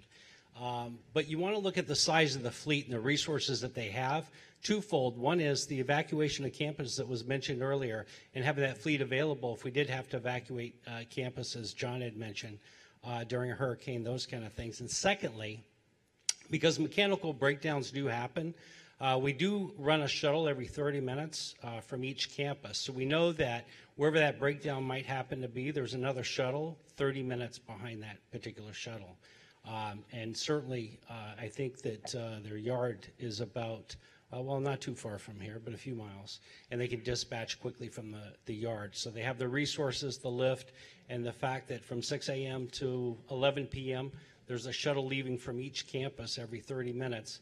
Uh, gives us that uh, that backup level of uh, support and comfort level that, that we have in our shuttle service. And I'll introduce James from Academy, and he can talk about his services. Hi, I'm James. I'm with Academy. Uh, we do do go through a major maintenance program with our shuttles. They are maintained. They're on a regular uh, preventative maintenance service. As you did say, there are times that it is mechanical. It happens. Sometimes, you know, most of the time it's not preventable. But our shuttles do go through uh, a preventative maintenance every so many miles. is something that my mechanic would have to speak about because they they know the parameters of it. But they there is a certain uh, guideline that all that our mechanics abide by. Our buses go through every single one of our buses go through the to make sure that everything is up and running. I'm out there periodically. If you do see me, come see me. If you know that there's a problem with the shuttles, come talk to me. We'll make sure we check them because anytime that we hear that there's an issue when it comes to mechanical wise, air condition, whatever it might be, come talk to me, come see me. I'm usually out here at the bus stop or I'm over at the MMC bus stop. We'd be more than happy to make sure we address any issues that you all may have. Do you have an email? Yes. Uh, my email is jfox, F-O-X, at academybus.com. So the best way for for Mr. Fox to know your pain is for you to communicate if it. you if you do send me an email, I, I will answer you. I'll reply to you, and I'll make sure I forward that email over to our um, uh, maintenance supervisor to make sure that it's all taken care of for you. Thank you. Thanks, Yes. James. If you could note my email as well, it's thartley at fiu.edu. Uh, you're welcome to uh, send those to me or copy me in addition to Academy. We do track their service levels. We have GPS tracking on every on- on the on the buses on the shuttles. Um, so um, and on the app that you can look and see when the next shuttle is. We do track their performance on that. So if they're late for a delivery, if they're late for a pickup, we track that and uh, have weekly meetings with Academy on uh, on their service levels and on their times. What So- about internet issues? the internet issues, uh, because occasionally uh, vehicles do break down, Uh, they will run in another bus without the internet services that we've put on the bus. It's, it's Academy standard uh, internet services. On the designated shuttles for F, between MMC and BBC, we've loaded up uh, the internet. The problem with the standard internet that Academy runs versus our designated shuttles that we run, that we load the internet on, is happens to be uh, the number of towers and the cell phone towers. When they lose connection, um, so that, uh, for example, if their service providers AT&T, um, the AT&T tower may drop somewhere on the turnpike between here and MMC campus. We've loaded on our shuttles uh, multiple SIMS cards so that we have both Verizon, AT&T, T-Mobile, uh, multiple providers that if one service drops, AT&T cell tower, for example, is down a week that day or drops connection, then Verizon picks up and picks up for the rest of the shuttle. So if you're on a shuttle uh, with a bad internet connection, if you'll let us know that, we would appreciate it. It could be that due to mechanical reasons or just uh, switch out for preventive maintenance, uh, that Academy switched in another shuttle bus on us uh, for that particular reason. It may not be on our regular um, Wi-Fi system. Great, thank you. Thank you. Okay, Luke. Okay, one final. I see gentleman has it here in the green jacket, and then we're turn it to Chief Casas, and we'll be completed. May I ask a question? I've, I've had my hand up for, for a little bit Where? now. Right oh, here. there you are. Okay, yes, of course. Quick We'll question. do two two questions at the same time. Go ahead, sir. No, go ahead. Go ahead. The buses don't run on the weekends, right? I just quick No. question. No. No, because uh, last semester I had an exam at. Uh, I live near BBC, and I had exams on the Saturday at MMC. So I was wondering, it was possible to have the buses run on Was weekend? that final exam, or was that a midterm, or what? midterm and final? Both of mine for uh, accounting was over there. In case it happens again that I have exam at the other campus, I had to take two metro buses and uh, get up there. I was just wondering. Yeah, I think it, you know, I will look at it. I'll ask Mr. Hartley to look at it. I think midterms would be difficult, but I think final exams were covered, no? During the final exam period? Weekdays only. Well, but we need to think about that for Saturday because we're teaching, we're doing exams on Saturday during final exam week, are we not? Yes. Okay, we get, we need to, yeah, we need to look at that. So I get you halfway there. I get you halfway there. Okay, yes, sir. Yes, thank you, President Rosenberg. Hi, my name is Daniel Velasquez. I'm a student here first and foremost. I just wanted to thank everybody here.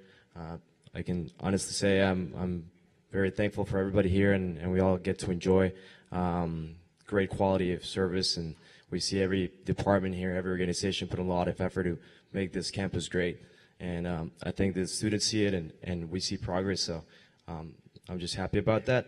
I, I do want to say uh, there is some problems with transportation, and not just from the buses side, which I have a question here for, but I would like to add to that uh, also in the in the management and, and some issues that I've seen as a student, um, as a resident, also in Bayview, and in other with from other students that I've had here. Um, I think a lot of these issues we can also resolve um, between all of us. You know, thinking within each other. I have my friend here, Ronan. He's a, a student of the engineering and software programming. He could definitely develop an app because I heard a little bit about that. Um, but the the question here is the transportation fee is included in tuition. Why is there not? Uh, why is there a, a service fee for the shuttle? Um, which I understand is is doesn't cover everything, and you know it's a contract kind of thing. Um, but also when it comes to parking and transportation, um, a lot of students try to park near uh, the lot five and um, when it comes to parking, you know, that lot is shared with the Kovens Center. We do have limited parking here, and everybody has probably experienced uh, some sort of trouble finding parking uh, at some point in campus. And um, basically, um, last semester, for example, we, we my car got moved, got towed, I got ticketed uh, several times. And um, one of the times that I got ticketed, I left my car on the side of um, lot five, which was a parking space for, for us in, in Bayview. And um, I got four tickets in a row. Um, without really notice, I got one email for them, and it was within, with, within midterms week. Um, so I didn't really know because it didn't go out to my car. I didn't move my car. There's like very few spaces available. And when I try to appeal the citation and I tell them that there is no like signaling, nobody told us that we could never park there, and we had been parking there for a year and a half. Pretty much their answer was like, just because you've been parking there for a year and a half, it doesn't mean that it's right to park there. And they denied it. They also put a boot in my car, um, and they moved it. So, like fees and costs came up to like two hundred and fifty dollars for me, just from a bunch of different things. And that was like for with the winter break. Um, so I needed my car, and I, I don't like to ask my parents for help. I like to like take care of my own stuff. Um, but I, I had to actually like help them like get some money from them because I needed my car for the winter break. Um, and when I try to address this issue with uh, parking and transportation, um, pretty much they failed to address any concerns. I felt like even management, I had to talk to the MMC lady because the BBC lady uh, wasn't available at the time. I couldn't get her information. Now I have gotten her information. The student government we're working to work on some resolution for parking and transportation. But um, I know from different students that have experienced just trouble with parking and transportation, just getting ticketed, and I just don't see the benefit of this. Like I understand, yeah, like it's not right, and we'll, we'll have to cooperate. But like giving student fees of like two hundred and fifty dollars, and you know, booting your car and all of this is definitely not the way to prosper um, education and implement growth. So I think it's a pressing issue here. Yeah, well, uh, first of all, um, I'm glad to hear that our that our parking enforcement people are working. So it Right. sounds to me like you're one of the reasons we employ them, and uh, I'm sorry about that. Um, I really am, and um, I think that uh, some of these questions that I'd like for you to address uh, privately to Mr. Hartley and have a conversation, if you would. Um, obviously, we want you to have a good experience here, and um, we don't want you to have. We don't want students when they wake up in the morning to worry about where they got to park. We don't want faculty to have to worry about that either, and we also want to keep costs down. So um, we're always uh, balancing that, and uh, but we do expect kinder, gentler, reasonable, thoughtful people who were able to listen to you and to understand things. Can we do a better job with signage? Absolutely. It sounds like. Can we? Um, maybe we could develop a system so that if you're getting a second and a third ticket, we make an effort to try to understand why. And if it's just because you are not interested in the regulations, then that's your choice. For but sure. if it's because of some structural bottleneck, we should know that and see if we can help. So, Tom, let's, yeah. Absolutely, yes. I, I think you're right in that sense. That, I mean, for me, it was just kind of like one thing triggered another. Yeah. Like the tickets, then Yeah. didn't get approved the, the appeal, then it got booted, then got moved. Um, but I think just minor communication, um, like letting us know that you can't park in certain spots or communicating with housing because when I went to housing about the, the concern, they said it was a parking thing. Parking is like, well, you should have known. We're like, okay, how, how am I supposed to know? So maybe this minor communication, better communication between students and parking would, would make a No, no difference. question, but, but I'll check in with Mr. Hartley afterwards to find out what he told you. And uh, I do think this is an issue, but we, we want people not to live in fear at FIU because of, you know, the fact that there are too many cars. Right. And so we're, we're working through that. And I do think that parking, my sense is that they've, they've, they've really transformed things very nicely. There's still a lot more work to do, so please have that conversation. Awesome. And let me ask uh, Chief Alex Casas, who is responsible for our campus safety and security, to uh, have a few comments, updates for you, because there's nothing more important than your safety, as far as I'm concerned. And since we haven't talked about that or addressed it, I want the chief to to comment on that as appropriate.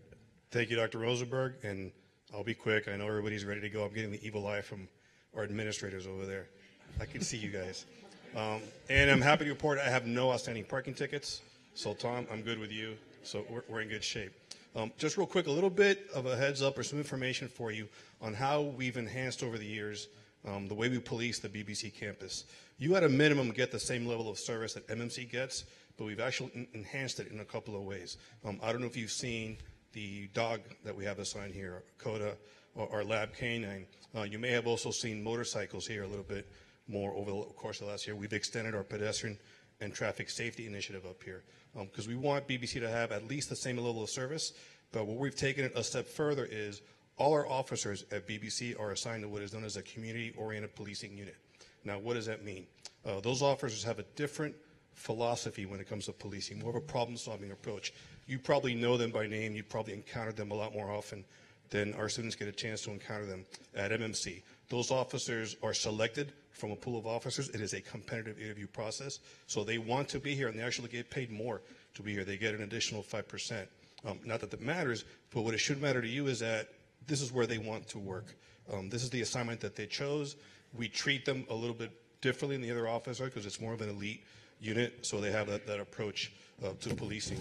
One more initiative that I'd like to talk about real quickly, and this is championed by Leo and your Student Government Association, is our RAVE application. We have a safety application that's also available on your campus. If you go to the uh, Apple Store or the Android Store and download Rave Guardian, when you log in, it'll turn into FIU Guardian, and basically what it is is a safety application that allows you to notify us when you're, in, you're having an incident, you need some help. Um, if you're walking to your car at night, it has a tracker that monitors how long it took you to get to your car, and if you took too long, it sets off an alarm and it notifies people for you. So thank you, student government, an example of how we work together to continue to enhance um, your life here and, your, your experience here at BBC. And speaking of student government, Dr. Rosenberg, Leo would like to take a moment. He's got something that he would like to present to you. You got to talk about it, Leo.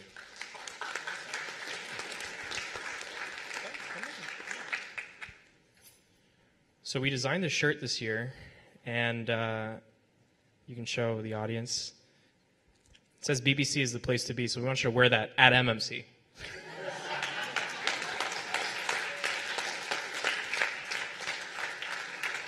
and we also have a pin that matches the shirt.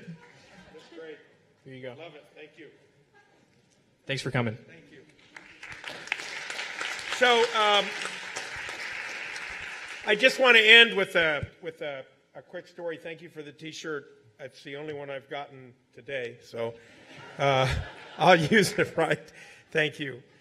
Um, so a couple of weeks ago, the FIU Foundation board held a planning retreat at the at Port Everglades, and it was on one of the ships uh, there, uh, owned by Carnival Cruise Lines, which is another great partner of ours.